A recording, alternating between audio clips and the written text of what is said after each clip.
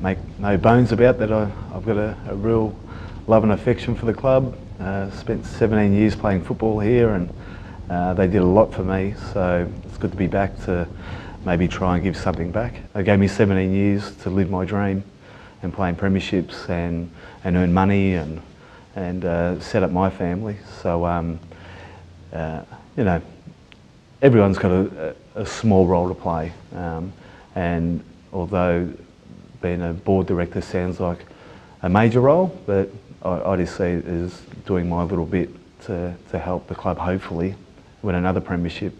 I've been part of premierships as a, as a player and ever since I've retired I want to be I want to experience one as a supporter as well so hopefully I can do a little bit to help. My role will be football director so basically the conduit between the football department uh, Brad Scott and Geoff Walsh mainly um, back to the board. I totally understand the pressures that coaches come under. I'm big on putting myself in other people's shoes and Brad Scott and every coach have got a, a massive role. They've got 42 players they've got to communicate with.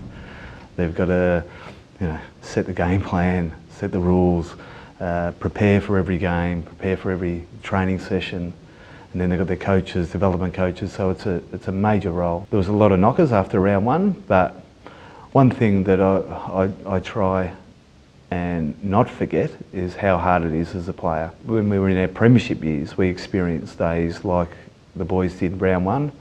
Uh, people don't really understand that when you're in the cauldron of Adelaide and they get a bit of a run on, the crowd gets behind them, their confidence goes through the roof and yours goes through the floor.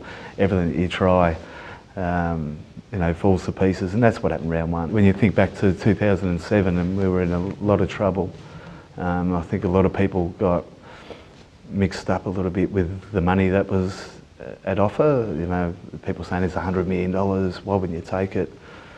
Why we didn't take it is because the day that we moved from here to the Gold Coast, North Melbourne didn't exist anymore. You can only judge the spirit of the club on the people that you've got here and from what I can see, I reckon the, um, the people are fantastic. I've got a pretty exciting job in one of the businesses, an event management business, and every year when I'm standing on a yacht in Monaco, I, I pinch myself and, and I look back and go, well, if it wasn't for the North Melbourne Football Club, I wouldn't be standing here.